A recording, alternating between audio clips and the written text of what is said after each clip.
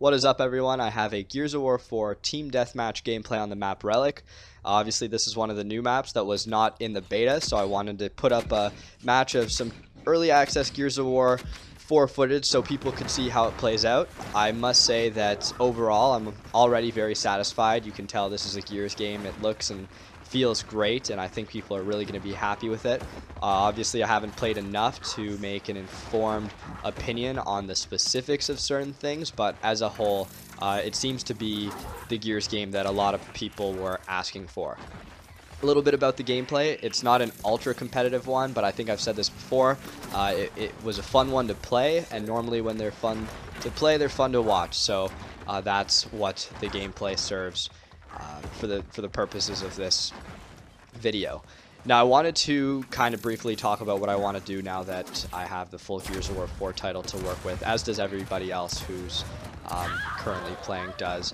Uh, because obviously, yeah, there was not much I could do just with uh, beta footage that wasn't set in stone, but uh, man is my mind racing with cool things that can be done um, with Gears of War 4 now. So I think I gained maybe a small bit of an audience, but for the most part, I think I have the, the same core audience I've had for a while, but I wanted to share anyway just kind of the projects that I'm envisioning in my head, maybe get some ideas.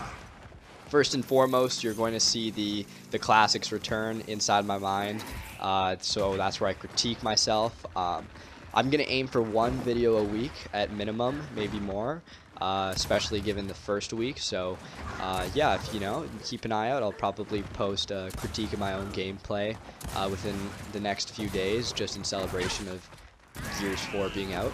I'm also going to bring back the art of clutching, but I'm dropping the name. It's going to be called Clutch Class, and if you are familiar with my older videos, that's basically where I take my clutches and break them down uh, and just kind of explain what's going through my head. Now, those ones are a little bit harder to make because obviously it requires me to clutch, uh, and by definition, all things being equal, uh, statistically you're not going to be clutching that often, but uh, when it does happen, it's it it's a super good feeling that I find you can't quite get from other games, and uh, they make for some pretty nice videos too.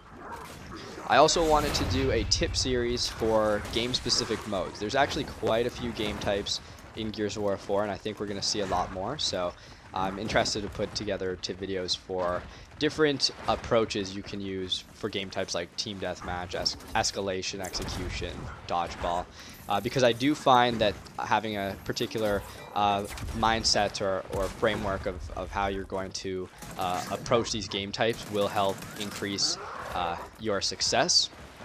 I'm also going to do some uh, just some offhand tip videos of like toolbox tips is what I, am to call it. There's a lot of little things uh, that are worth noting in Gears of War games that can just really help you succeed, whether it's how to properly use your TacCom or how to pop shot over cover. Things that seem simple, but you can actually go in depth enough to, to kind of add this extra skill set um, to what you currently have. And I must say, I think Gears is one of those games where the little things really do add up, and that's what separates a good player from a great player.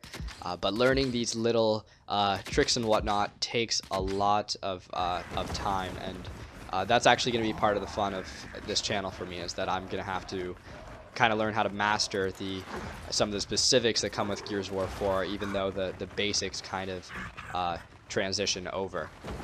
Another thing that I wanted to do, although I'm not quite sure how I would go about it, would be replay reviews, and that's basically where I take gameplay from other people, uh, preferably people who watch uh, my channel, and kind of critique their gameplay or give them feedback uh, if that's what they're looking for.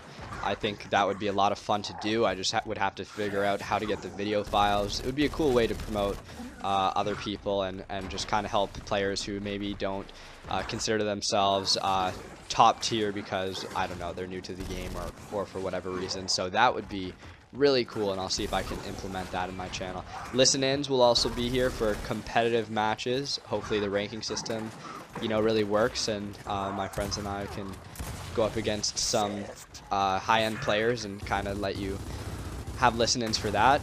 And I haven't decided about Horde yet. There's a chance that I might do some Horde stuff, but it's not a priority right now. I'm very much uh, player versus player uh, kind of guy uh, for the channel. So anyway, I'll, I'll, I'll kind of leave it with that.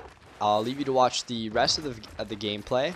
Obviously, it's a very exciting time uh, to be a Gears player right now. This The longevity of the game I really do think is going to be here. I've been having a ton of fun. Haven't even touched campaign yet, so uh, feel free to leave me suggestions in the comments of things you would like to see, or just uh, how you're feeling about Gears, uh, and say hi, and uh, I'll be sure to read them, and keep your eye out for some uh, cool new stuff coming on the way soon. Other than that, I will talk to you later.